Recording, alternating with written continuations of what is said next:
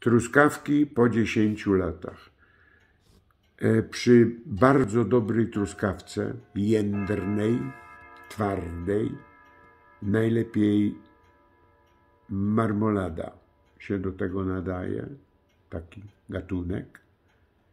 Do tego na słój 10-litrowy wsypujemy owoców po szyjkę, przykrywamy ym, alkoholem na płasko oraz w pończoszce bawełnianej zanurzamy na dwa tygodnie 30 ziaren pieprzu z Ceylonu.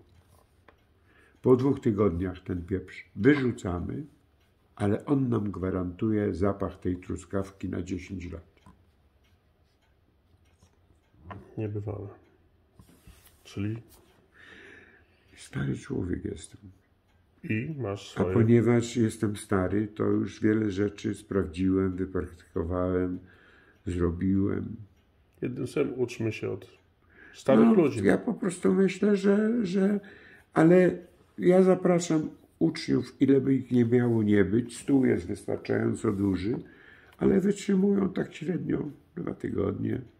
Po dwóch tygodniach dochodzą do wniosku, że umieją więcej niż ja, a w każdym razie wystarczająco dużo jak na, jak na to i się już nie pojawiają, bo, bo, bo nie wiem, bo już im się nie chce, już, wszystko wiedzą. Potem tylko dzwonią do mnie po pół roku i mówią tak, Zbyszek, kurwa, zrobiłem tę mirabelkę tak jak ty, ale nie taka mi wyszła. Ja wiem, co ja mam powiedzieć? No, no mówię, że to nie wina mirabelki, no. No po co mam powiedzieć?